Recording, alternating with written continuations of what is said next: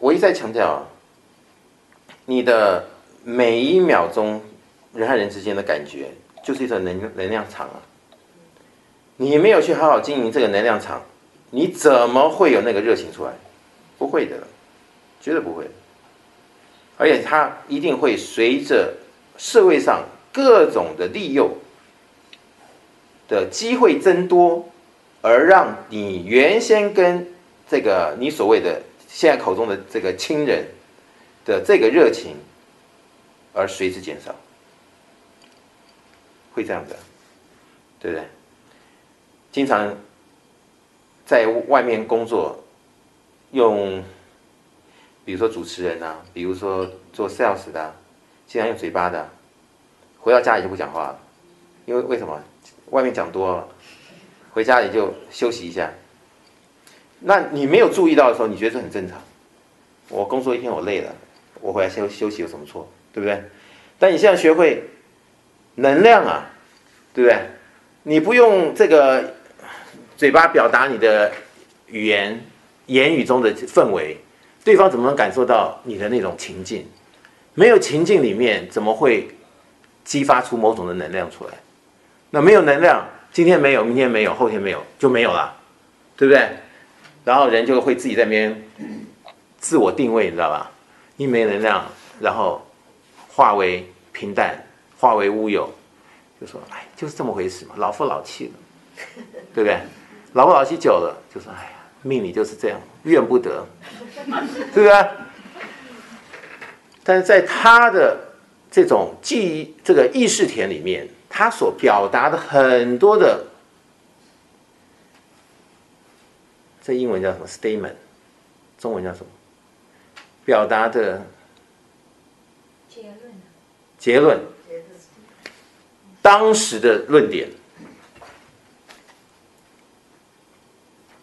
就不是他原先所想的，是不是？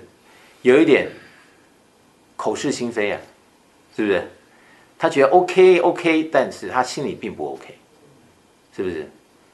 所以为什么有很多人就后来老是这里面搞不定，哦，什么过着过着什么我不快乐，那怎么样？带你去迪士尼，对不对？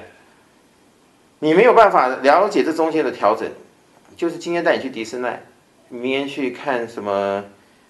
这个明天巴去巴黎。后天去全世界环环球旅行，你还是不快乐，对不对？你也没有抓到那个点。那什么点呢？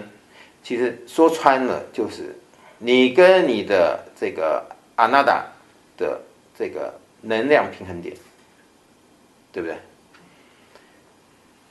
往往人在忙碌中，在很多理由中，把这些点就完全抹杀掉。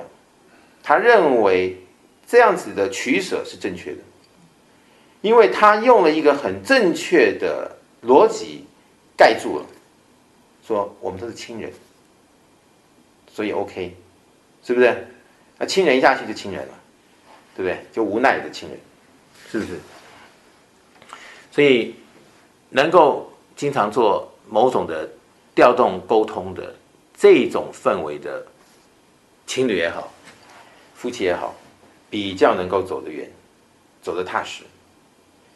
你说都是你做你的，我做我的，然后都是在一个屋檐下，然后有点像各奔东西，你知道吧？只是车停在一起，是不是啊？早餐大家一起吃吃，后面就不知道了。这种就是现在社会所反映出来很多的家庭问题的渊源就在这里，好。那为什么那么大意，没有去把这个能量注意好，把这个热情调动起来呢？因为自我的疏忽。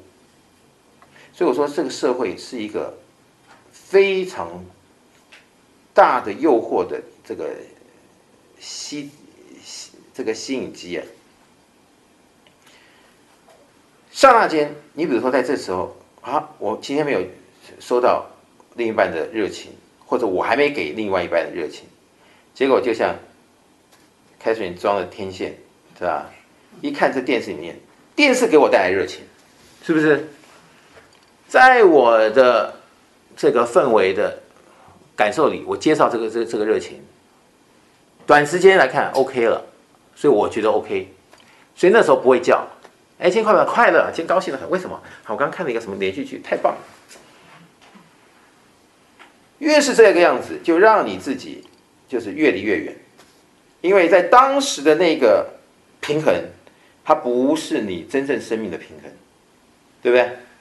所以你以为那个是你 OK OK，其实真的 OK 吗？不 OK 啊，不 OK 久了就不 OK，是不是这样子？